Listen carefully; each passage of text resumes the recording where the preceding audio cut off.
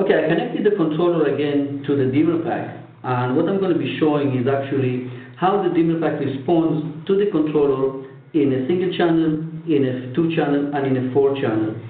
So the first thing is it's set to A001, and my DMX signal is receiving, so it's ready to receive. I know it's set already for channel 01 because A04, so if I click on the menu, it shows to me CH04. That means my controller, my dimmer pack is responding to channel 1, 2, 3, 4. And to show it visually, it's 1,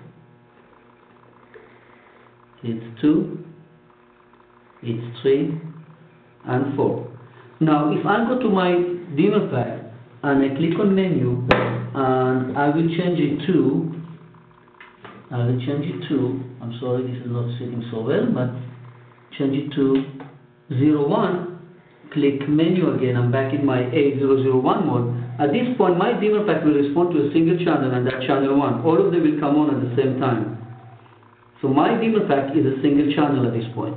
Doesn't matter which channel I move, they're going to respond only to channel 1 because it's set as a single channel. Now, if I would set this dimmer pack to menu to channel 4, they're going to respond to channel 4 as a single channel.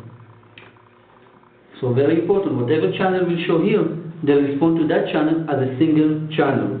Now if I go back to my menu and change that to CH02, what happened, and of course click back again, go to menu, bring it down to channel 1, just for demo purposes, my dimmer pack will be broken down into two channels. This will become one channel, and this will become a second channel.